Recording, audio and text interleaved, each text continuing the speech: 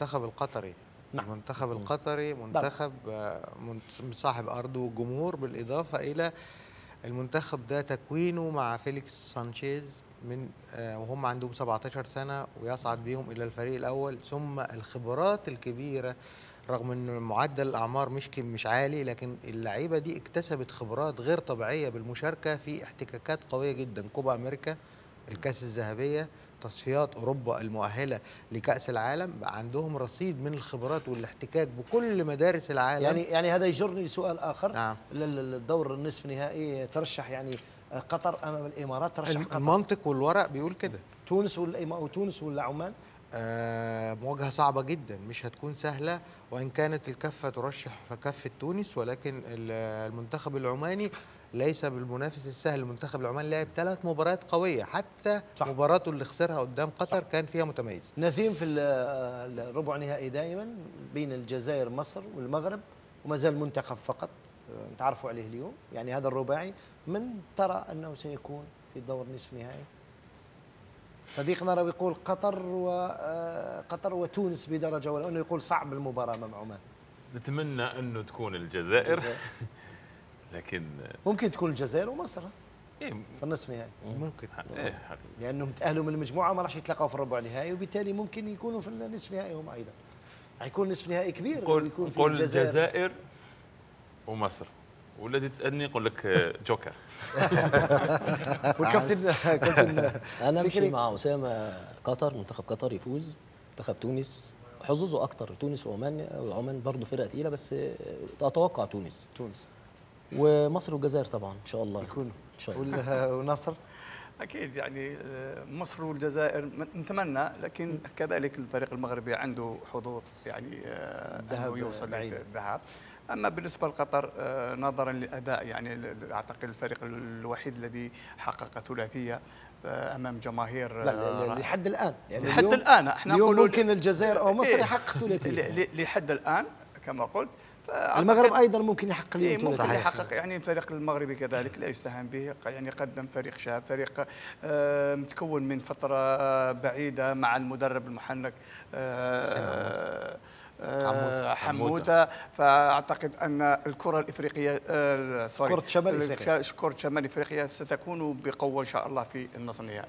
بطبيعة الحال بما أنه متواجد كل من المغرب الجزائر تونس ومصر. مصر.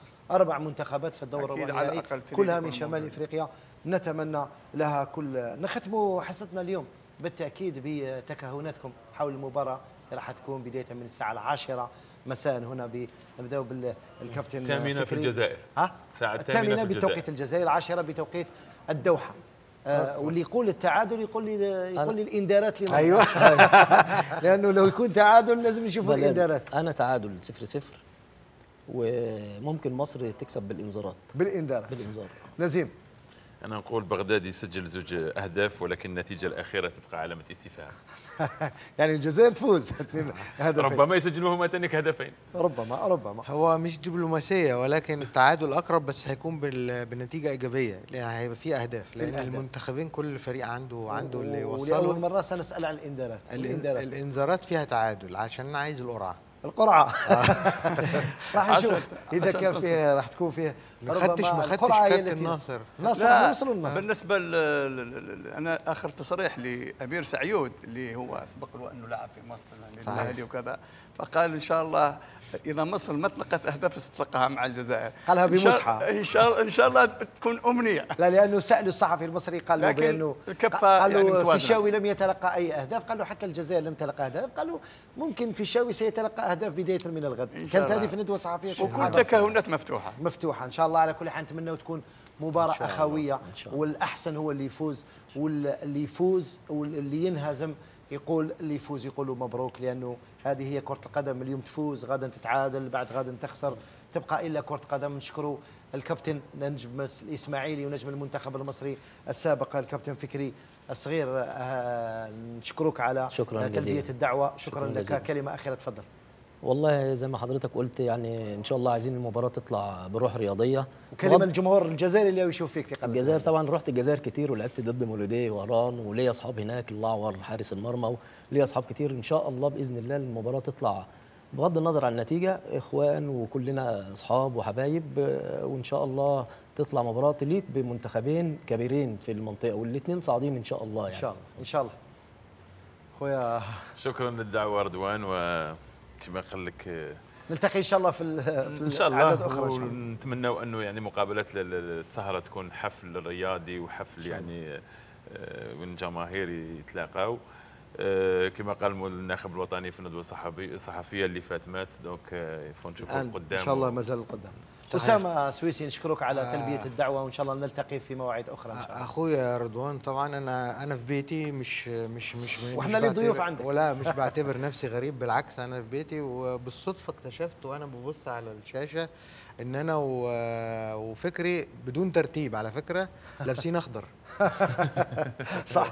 فيعني سبحان الله يعني مصادفة مصادفة غريبة جدا يعني. لا اتفقتوا قبل البديل لا والله بالعكس والله. ما حصلش يعني. ما- وأنا لبست الأبيض وحطيت روحي في الوسط أيوه ابيض نعم شوفونا نقطة حمراء.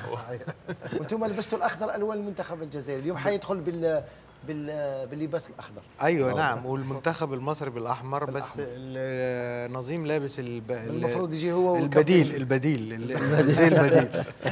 شكرا شكرا لك يا اسامه نختموا بكابتن تاعنا ولاعبنا الدولي ناصر ميكي داش نشكره على تلبية الدعوة. وإن شاء الله نلتقي بك في الأعداد القادمة بإذن الله. رانا ضيوف عندكم وانت راك ضيفنا في قناة الهداف في الجزائر. صحيح يعني أنا أتمنى أنها تكون مباراة آه، في إطار روح رياضية لأن في الأخير هي آه، مباراة كرة قدم وكل فريق وكل المسؤولين يسعوا للحصول على هذه النتيجة مهما كانت يعني الخلفيات بعد هذه النتيجة. آه، نتمنى أن الجماهير الجزائرية تكون وتناصر فريقنا بقوة مهما كانت النتيجة لأن الشعب الجزائري أصبح متحضرا ويعرف الكرة. آه، نتمنى أن يساند الفريق- إلى آخر هذا خاصة وأن المنتخبات الجزائرية لديها مواعيد أخرى تنتظرنا فمن من ال- الج- الجانب الإيجابي أن نكون وراء هذا المنتخب للوصول إلى نتائج إيجابية خاصة في تصفيات كأس العالم وكذلك آه، كأس إفريقيا التي تطار شكرا لك.